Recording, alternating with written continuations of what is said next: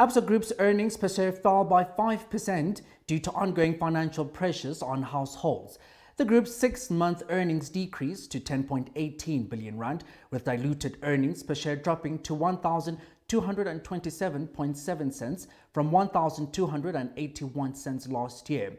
Furthermore, the bank maintained its interim dividend at 685 cents per share and forecast mid-single-digit revenue growth for 2024. Absa's Group Financial Director, Deon Raju, provides insights on the recent performance.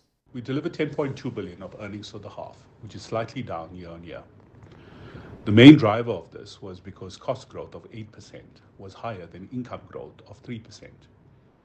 The cost growth was due to investments made during 2023, especially in frontline staff to better serve our customers, our brand, and technology, and the full effects came through this year.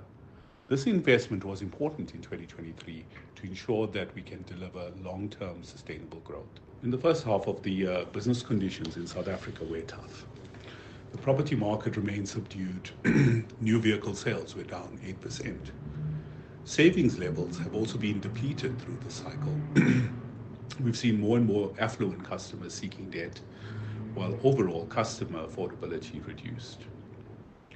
Despite that, our SA retail portfolios showed a strong recovery on the back of improving delinquency profiles.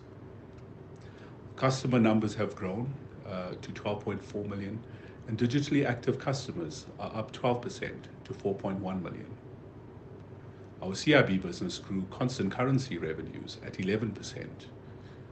Their credit losses normalized off a low base as they had to deal with some single-name impairments, particularly in consumer-facing sectors. Our ARO RBB revenues also grew 11% in constant currency.